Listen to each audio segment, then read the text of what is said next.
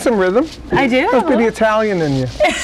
And while I may have some rhythm, I decided it's best to leave the rocking to the pros.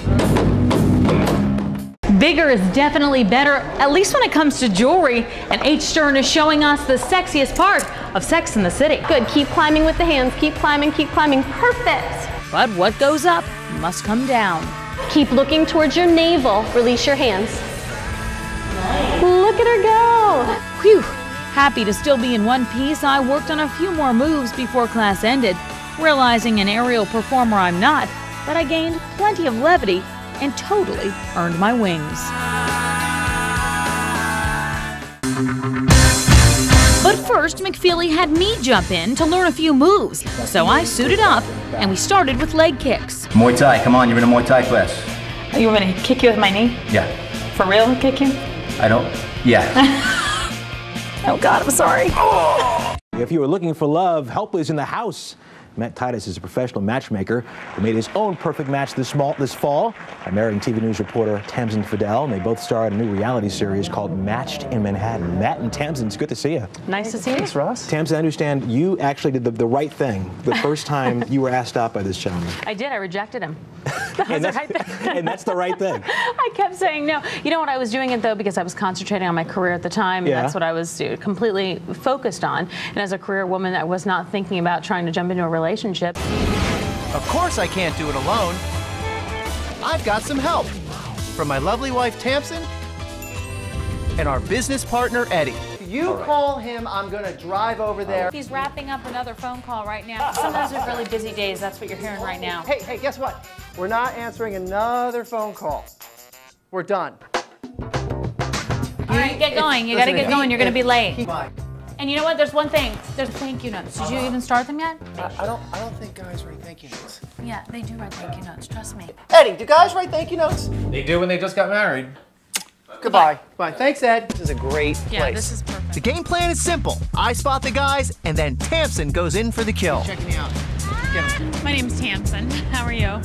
Really good. Are you single? Oh, you're not married? Are you single? I didn't notice a ring. If you want to play with handcuffs in the bedroom, you should make sure you know where the key is.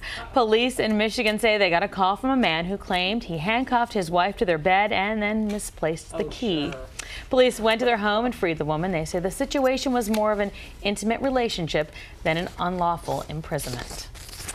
I don't even know how to segue that. I hate it when that happens. I got nothing. Investigators now believe a space heater is to blame for a boat fire at a marina in New Jersey. Air 11 was over the scene yesterday morning at the Lincoln Harbor Marina in Weehawken. Tamsen, back to you. All right, Allison, thank you. Folks on Long Island might see the cost of electricity go up. The Long Island Power Authority is expected to vote on its 2009 budget this morning. James Ford is live in Hicksville now to tell us what the spending plan calls for and how today's hearing could affect your electric bill. Well, good morning. We have a lot going on actually in entertainment news. First up, Pete Wentz says Heath Ledger's death was a wake-up call.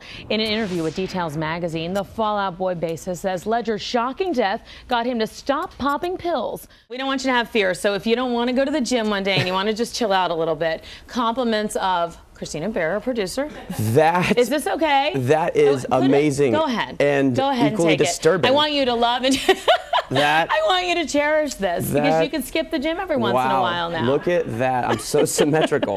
All right. and got- oddly enough, my tan is about the same as in the movie. It's just like the clip. All right, let's talk about People Magazine, Sexiest Man Alive. Wh- What did you think when you heard that? Well, our Tamsen Fadal is here with a special guest who has taken it to a whole other level. And God, she's beautiful.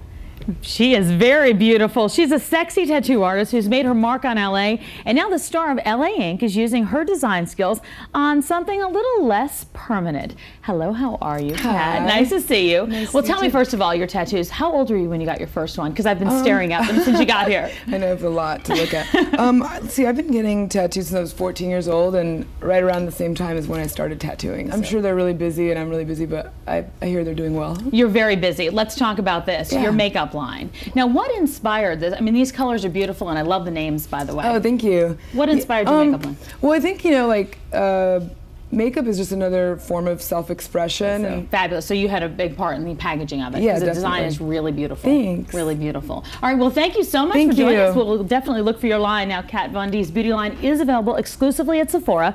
For more info on where to find it, log on to cw11.com/morning news, and you can catch LA Ink. on TLC on Thursdays.